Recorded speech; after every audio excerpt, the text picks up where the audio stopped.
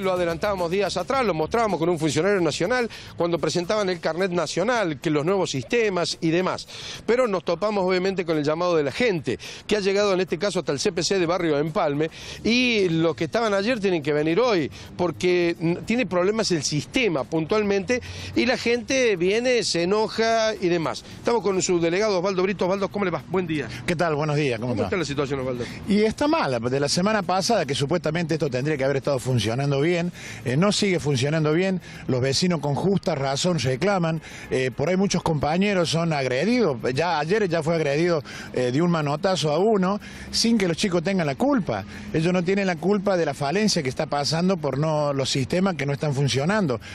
nosotros, por ejemplo, hay gente que han puesto un sistema del sistema web que te dan los números de allá sin saber la situación. Tenemos 30 números que se dieron ayer, vinieron 30 vecinos y pudimos hacerlo hasta las 2 de la tarde, seis trámites nomás. Hoy tenemos 30 números más, más los 26 de ayer, más los turnos eh, que dimos personalmente que no habían tenido la posibilidad. Se puede sacar el turno vía web y también personalmente, y después se amontona la gente. Y se amontonan porque en este caso nosotros no tenemos sistema, no está funcionando bien. Recién los chicos están haciendo lo imposible para ver si pueden sacar algunos carnes, porque hay gente de antes de ayer que está pregonando acá las horas, tienen hasta las 2, las 3 de la tarde, están y no pueden, se van sin el carnet. ¿Qué respuesta tiene de la parte del sistema de la municipalidad?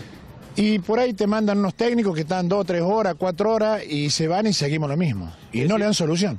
Bien, sigue el problema, digo, se van a seguir amontonando los turnos. Y se van a seguir amontonando si de la municipalidad no hacen algo y suspenden para que la gente no se venga al vicio, porque es lamentable, porque el vecino viene y tiene que ponerla acá, no viene a pedir un subsidio. Y es lamentable que por ahí alguno eh, pierde de trabajar o pide permiso en trabajo y llegar acá y que no le podamos hacer el trámite.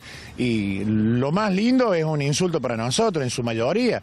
Entonces ya eh, no queremos que llegue a mayor esto, o sea, por eso le pedimos por favor a la gente responsable de los sistemas que eh, anulen el tema de los turnos, porque acá no se puede trabajar, no tenemos en buenas condiciones el sistema. Ahí supuestamente está faltando una fibra óptica que está todo colocado, falta conectar. No sé por qué no se quiere hacer las cosas bien. Gracias, Osvaldo, muy amable. Por favor. Osvaldo Brito, el delegado de aquí desde el CPC del eh, barrio Empalme. Y no se venga en realidad porque va a encontrarse con este inconveniente que no hay sistema. Si tenía turnos y si está el bici un rato en casa y tenía turno, venga, pruebe suerte.